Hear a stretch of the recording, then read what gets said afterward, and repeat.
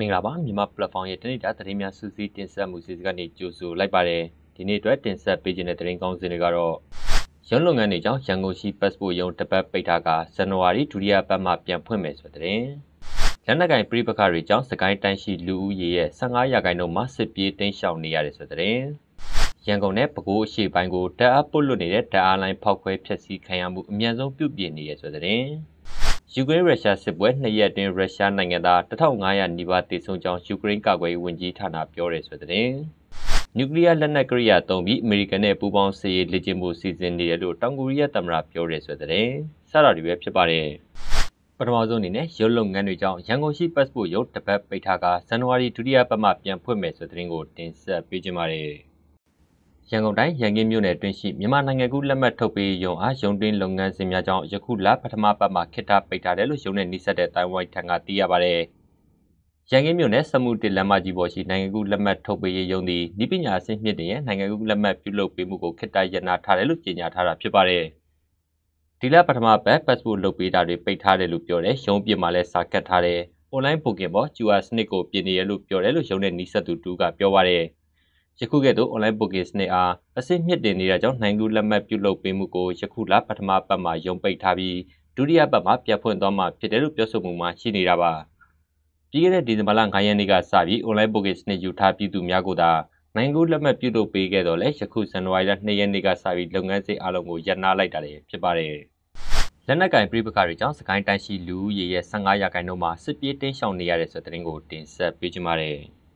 စစ်ကောင်စီလက်ထက်22လတာကာလတွင်လက်နက်ကင်ပြည်ပကတွေကြောင့်စကိုင်းတိုင်းရှိလူဦးရေရဲ့15ရာခိုင်နှုန်းမှာစစ်ပြေးတင်းရှောင်နေရတယ်လို့သိရပါတယ်။2021ခုနှစ်ဖေဖော်ဝါရီလ1ရက်နေ့ကစပြီး2022ခုနှစ်ဒီဇင်ဘာလထိစကိုင်းတိုင်းမှာစစ်ပြေးတင်းရှောင်မှုအခြေအနေများကို ISP မြန်မာကထုတ်ပြန်လာတာဖြစ်ပါတယ်။လက်နက်ကင်ပြည်ပကတွေကြောင့်စကိုင်းတိုင်းမှာဒေသခံ9သိန်း9228ဦးထပ်မံစစ်ပြေးတင်းရှောင်နေရကတနိုင်ငံလုံးမှာစစ်ပြေးတင်းရှောင်သူအများဆုံးဖြစ်တယ်လို့ဆိုပါတယ်။စ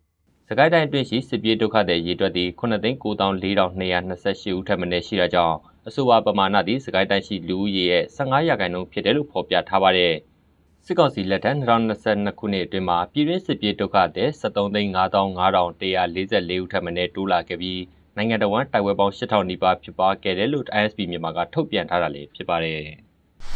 ရန်ကုန်နဲ့ပဲခူးအရှေ့ပိုင်းကိုဓာတ်အားပို့လွှတ်နေတဲ့ဓာတ်အားလိုင်းဖောက်ခွဲဖျက်ဆီးခံရမှုအများဆုံးပြုပြင်နေတဲ့ဆိုတဲ့သတင်းကိုတင်ဆက်ပေးကြပါမယ်။ရန်ကုန်တိုင်းနဲ့ပဲခူးတိုင်းအရှေ့ပိုင်းတို့ဓာတ်အားပို့လွှတ်ဖြန့်ဖြူးလျက်ရှိတဲ့ 230 kV တောင်ကူတာယာကုန်းဓာတ်အားလိုင်းဖောက်ခွဲဖျက်ဆီးခံရခြင်းကိုအများဆုံးပြုပြင်နေတယ်လို့သတင်းထုတ်ပြန်ကြေညာသိရပါတယ်။ဇန်နဝါရီလ1ရက်နေ့ကညောင်လေးပင်ခရိုင်ကြောက်တကားမြို့နီးရှိ 230 kV တောင်ကူတာယာကုန်းဓာတ်အားလိုင်းရဲ့တာဝါတိုင်းတိုင်းသည်ဖောက်ခွဲဖျက်ဆီးခံခဲ့ရကတာဝါတိုင်းတိတ်ဆောင်းသွားခဲ့တာဖြစ်ပါတယ်။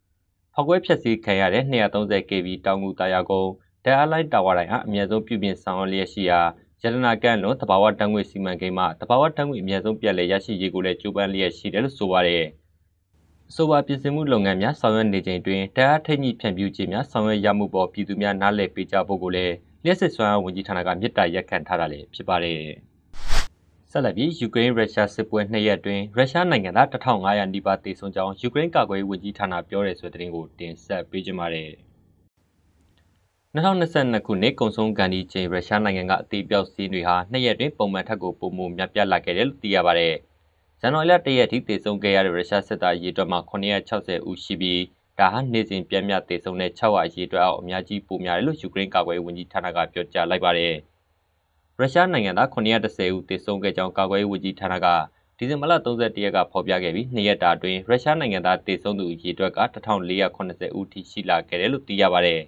။ဒါဟာ2022ခုနှစ်ဖေဖော်ဝါရီလနှောင်းပိုင်းကလေးကစတင်ပြီးမော်စကိုဆိုရကကျူးကျော်စစ်ဆင်နွှဲလာတဲ့ရုရှားစစ်တပ်ဘက်မှခမန်းကြီးစစ်တီအင်အား36920ဦးဆုံးရှုံးခဲ့တာလည်းဖြစ်ပါတယ်။ယူကရိန်းသမ္မတဖလိုဒိုင်မာဇီလန်စကီကဇန်နဝါရီလ1ရက်ညကမိန့်ခွန်းပြောကြားခဲ့ရမှာ ရုရှားကကြောက်ရွံ့နေတယ်သူတို့ကြောက်နေတယ်ဆိုတာကျွန်တော်ခံစားမိတယ်သူတို့ကြောက်နေကြတယ်ခင်ဗျားတို့လည်းဒါကိုခံစားနိုင်တယ်ဘာကြောင့်လဲဆိုတော့သူတို့ကြရှုံးနေလို့ပါဒရုန်းတွေဒုံးကြီးတွေနဲ့အခြားစစ်လက်နက်အင်အားတွေကသူတို့ကိုကူညီမှာမဟုတ်ပါဘူးဘာဖြစ်လို့လဲဆိုကျွန်တော်တို့ကအတူတူရှိနေကြလို့ပါသူတို့ကတော့အကြောက်တရားနဲ့ပဲရှိနေပါတယ်လို့ပြောကြားခဲ့ပါတယ်နှစ်တကူရဲ့ပထမဆုံးနေ့မှာတင်ယူကရိန်းကရုရှားရဲ့ဆာဟပ်ဒရုန်း45စင်းကိုပစ်ချနိုင်ခဲ့ကြောင်းဆက်လက်ပြောကြားခဲ့ပြီးရုရှားနိုင်ငံသားတွေကိုလည်းတနာကြကောင်းတဲ့သမ္မတစီဒန်စကီကပြောဆိုခဲ့တာလည်းဖြစ်ပါတယ် နောက်ဆုံးသတင်းတစ်ပုဒ်အနေနဲ့နျူကလ িয়ারလက်နက်ကိရိယာသုံးပြီးအမေရိကန်နဲ့ပူးပေါင်းစစ်ရေးလေ့ကျင့်မှုစီစဉ်နေတယ်လို့တောင်ကိုရီးယားသမ္မတပြောတဲ့ဆိုတဲ့သတင်းကိုတင်ဆက်ပေးကြပါမယ်။နျူကလ িয়ারလက်နက်ကိရိယာတွေသုံးပြီးအမေရိကန်နဲ့ပူးတွဲစစ်ရေးလေ့ကျင့်မှုတွေလှုပ်ဆောင်ဖို့စီစဉ်နေတယ်လို့တောင်ကိုရီးယားသမ္မတရှောင်းဆွယိုကသတင်းစာတစ်စောင်ရဲ့အင်တာဗျူးတစ်ခုမှာပြောကြားလိုက်ပါတယ်။အမေရိကန်ရဲ့အပြည့်ထားတဲ့ကာကွယ်တားဆီးရေးစီစဉ်တွေကိုပုံမထိရောက်စွာအကောင့်ထဲပေါ်ဖို့ရည်ရွယ်ချက်နဲ့ပူးပေါင်းစီရေးလေ့ကျင့်မှုတွေလှုပ်ဆောင်ဖို့စီစဉ်နေတယ်လို့ရှောင်းဆွယိုကပြောကြားခဲ့တာပါ။ အမေရိကန်ရဲ့စီရေးဆွမ်းမကလို့ဆိုတာက